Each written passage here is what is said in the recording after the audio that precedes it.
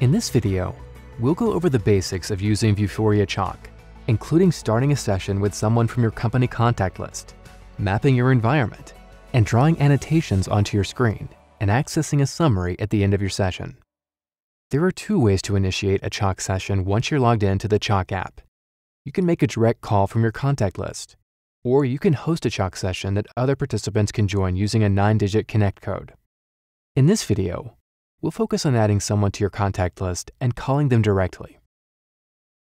You can add contacts from your company directory by clicking on the Add Contact button in the middle of your screen, or by using the menu in the top right corner. Press the Add Contact button and then select From Company Directory and use the search bar to find the users from your company directory that you want to add to your contact list with the plus button next to their name. Once they're added, just click on their name to initiate a session with that contact. When you initiate a Chalk session with someone from your contact list, you'll be asked which user wants to share their screen. If you're the person who needs help, then share your screen so the other person can see your environment and help solve the problem you're facing. If you're a subject matter expert who is providing remote assistance to someone, then the other participant should share their screen so you can draw annotations onto their environment. If you've elected to share a view of your surroundings, you'll need to help Chalk learn your environment at the beginning of the session.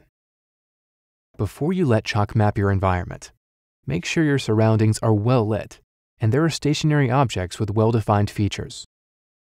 Once you begin sharing your view, you should see a message along with yellow dots that show your mapping progress.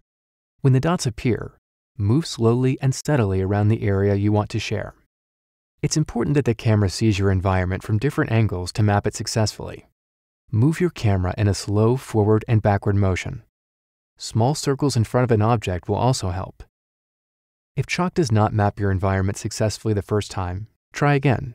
Keep your device's orientation fixed, and don't rotate your camera when it's scanning your surroundings.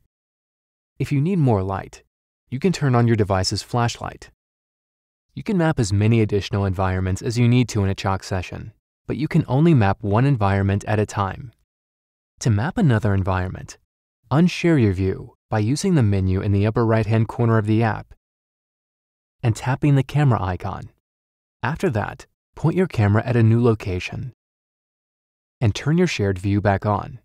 You'll see a prompt from the app to resume your view of the original location, which you can dismiss by clicking the X in the top right corner of the notification. You will then see a new prompt to share your video, and you can initialize another environment for a new shared view. Once your environment is mapped, you'll see a message that you can start drawing annotations. If you want to undo any of the annotations you've made, tap the Undo button in the lower right corner. To undo all your annotations, hold down on the Undo button until all the annotations are cleared.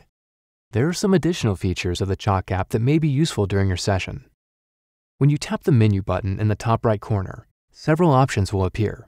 The first button shows the participant list, the second button turns your video feed on and off. The third button mutes your microphone. The fourth button turns on your flashlight.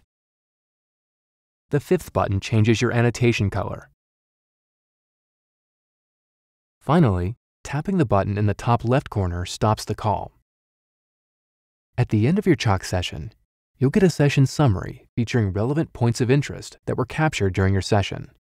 Chalk auto-captures these points of interest when annotations are made during the session. Session summaries can be exported when you need to provide evidence of service work, share knowledge or feedback with your team, or improve quality control processes. If you choose not to export the session summary at the end of your session, the captured images will be deleted and cannot be retrieved. Your account administrator can enable and disable the use of session summaries.